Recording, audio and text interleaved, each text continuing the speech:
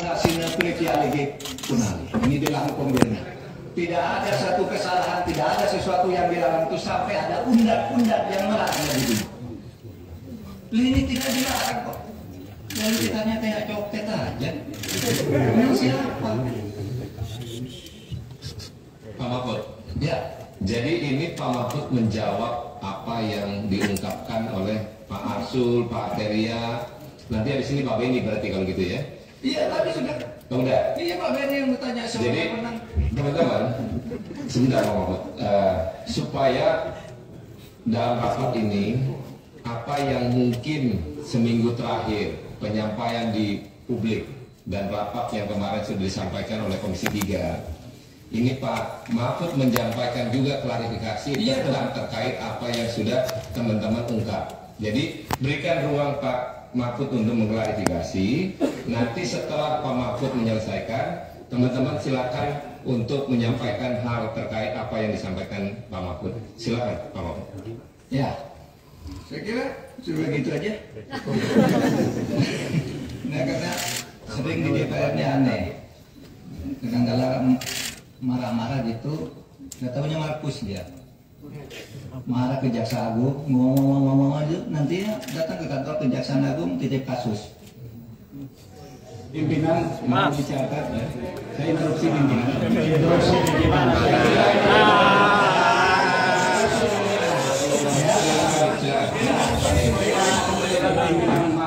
keselamatan Dewan Pimpinan ini konten ya, ini Mahfud. Apa memang benar ada data yang soal Markus anggota DPR disampaikan saja sekarang. Nanti Saya sampaikan sekarang. Ya. Peristiwa di Kapung Malik, Ustadz di Kapung Malik. Saya kira saya sama Pak Beni masih ada di sini. Ya. Kan saya tadi nyebut DPR, dan nyebut saudara. Pada waktu itu, Jaksa Agung Abdurrahman Saleh dicecar habis-habis ditanya seperti ini, dibilang Bapak ini seperti Ustadz di Kapung Maling, Bapak baik, tapi di lingkungan Bapak jelek.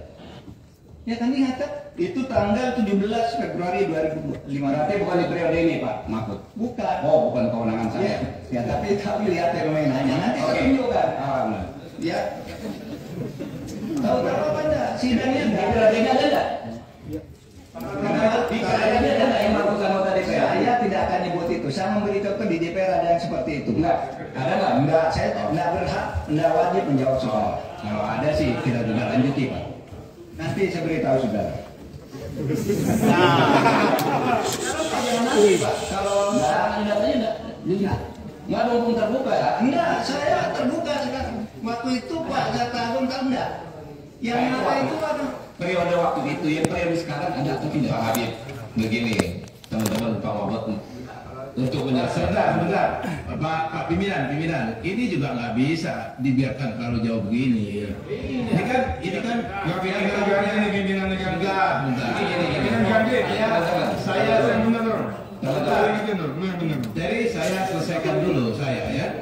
Ya, seharusnya pada kesempatan pertama Pak Mahfud menjelaskan semua hal yang Pak Mahfud jelaskan di media terkait dengan 300 triliun itu.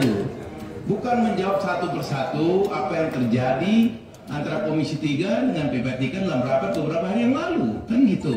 Itu Pak Mahfud juga pernah di DPR. Kan Pak Mahfud tahu bagaimana dinamika yang terbangun dalam rapat-rapat di DPR. Sebentar, saya belum selesai. Saya kan nggak potong Pak Mahfud ngomong tadi. Saya mendengar dengan seksama apa yang disampaikan Pak Mahfud. Gantian dong. Sekarang saya ngomong.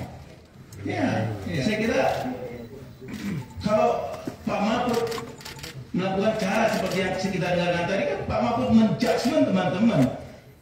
Lepas dari itu benar salah itu nanti kita bisa uji. Tetapi rapat kita hari ini bukan untuk itu. Rapat kita hari ini untuk mengklarifikasi kontroversial yang sudah terlanjur berkembang di masyarakat terkait dengan 300 triliun itu. Tidak satu pun poin dari awal Pak Mahfud men- me- me- menyampaikan penjelasan Pak Mahfud dalam rapat ini yang terkait dengan soal itu.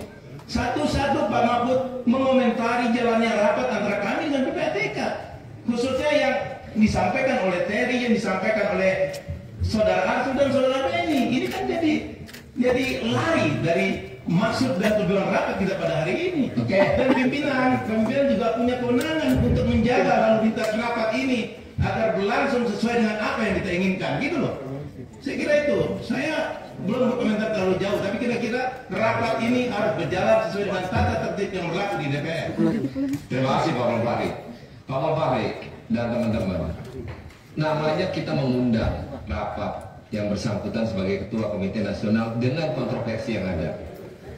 Tapi kalau akhirnya yang bersangkutan menjelaskan dulu dengan apa yang terjadi, dengan mengklarifikasi yang terjadi belakangan terakhir, tidak salah sebenarnya. Nanti kalau selesai dia mengklarifikasi Pak Soda- Pak Menko, baru kita tanggepin Pak supaya apa yang menjadi klarifikasi Pak Mahfud ini bulat. Berat bukan berarti nanti interupsi interupsi mau kapan selesai Pak? Mau dua hari Pak Akhirnya tadi udah mau su- suruh ganti saya sebagai pimpinan. Ini lagi di luar jalur. Kan kita lagi menerangkan dulu ketua komite menjelaskan Pak. Supaya terungkap mau rapat tujuh hari nggak apa-apa. Asal ungkapan dari ketua komite apa yang menjadi kontroversi ini terbuka secara publik dengan teman-teman. Nah, kiranya untuk jangan salah mengartikan Pak Mahfud ini menyampaikan ungkapan Masa nggak dikasih ruang seorang ketua komite atas kontroversi yang ada? Ini kan permulaan. Nah, jadi ya. Nah, Lanjut, lanjut. Supaya jangan ada nanti seolah-olah pimpinan tidak memberikan satu keputusan tegas. Oke, Pak Mahfud silakan. No. Baik, saudara, tadi kan saya sudah sampaikan. Saya akan punya dua bagian di sini. Satu, saya menjawab pengadilan terhadap ketua PPATK kemarin yang saya tidak bisa hadir. Bukan tidak bisa hadir, saya sudah siap hadir, tapi jadwalnya diubah. Saya bilang, keterangan saya hari ini akan ada dua macam. Satu, tentang legal standing, di mana dibilang PPATK tidak boleh melapor ke Menko, Menko tidak boleh bicara ke publik. Padahal ini yang selama ini kita gunakan untuk nangkap teroris, untuk eh, koruptor dan sebagainya. Itu saya menjelaskan itu aja. Nah sekarang mari masuk, saudara sekalian.